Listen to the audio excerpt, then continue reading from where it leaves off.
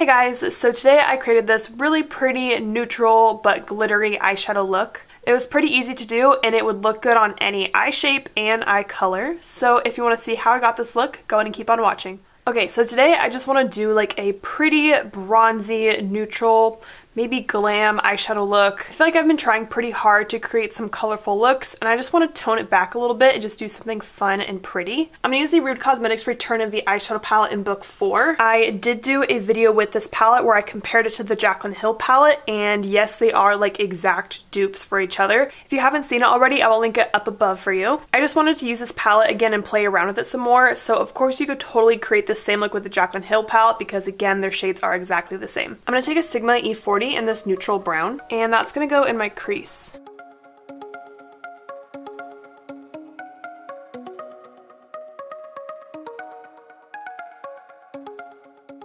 And I'm just going to add a little bit more of that color till it's as pigmented as I want it to be.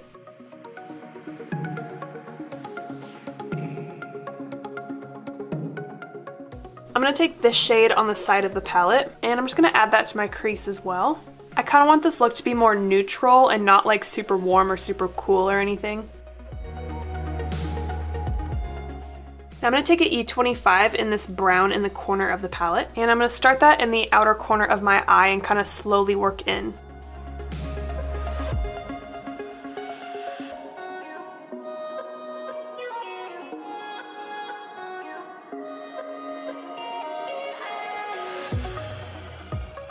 And I'm building up this color as well.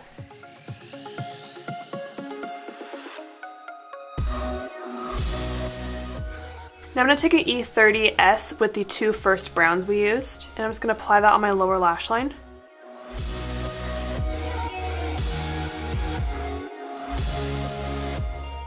Now I'm going to take that darkest brown we used, and same exact thing.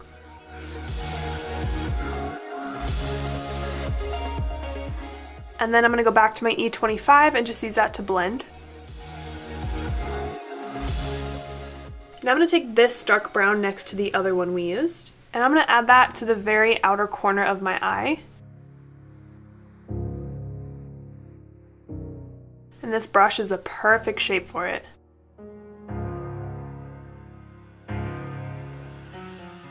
And then I'm to blend that out with my E25. And I'll also bring that brown out here on my lower lash line.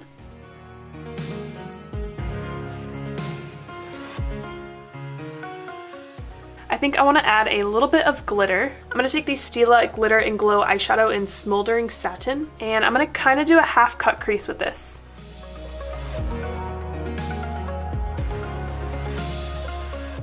And then I'm using an E46 to move around the product.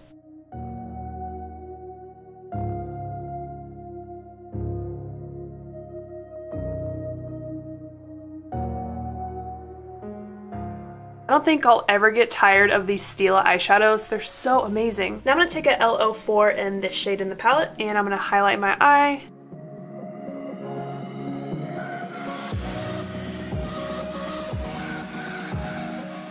I'm going to take my Julep eyeliner in black and I'm going to put that in my waterline and tightline.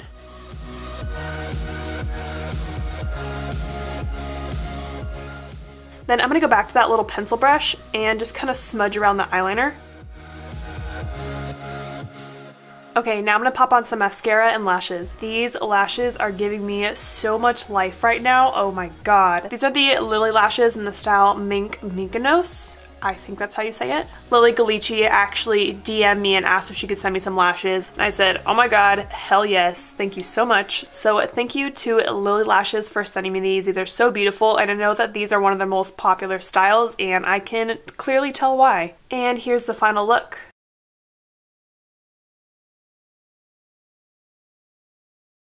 I think this look is so pretty and it was actually really easy to do too because I didn't really do any like concealer cut creases. Just using that glitter eyeshadow made such a big difference. I hope you enjoyed this pretty brown neutral eye makeup tutorial and thank you so much for watching and don't forget to like and subscribe.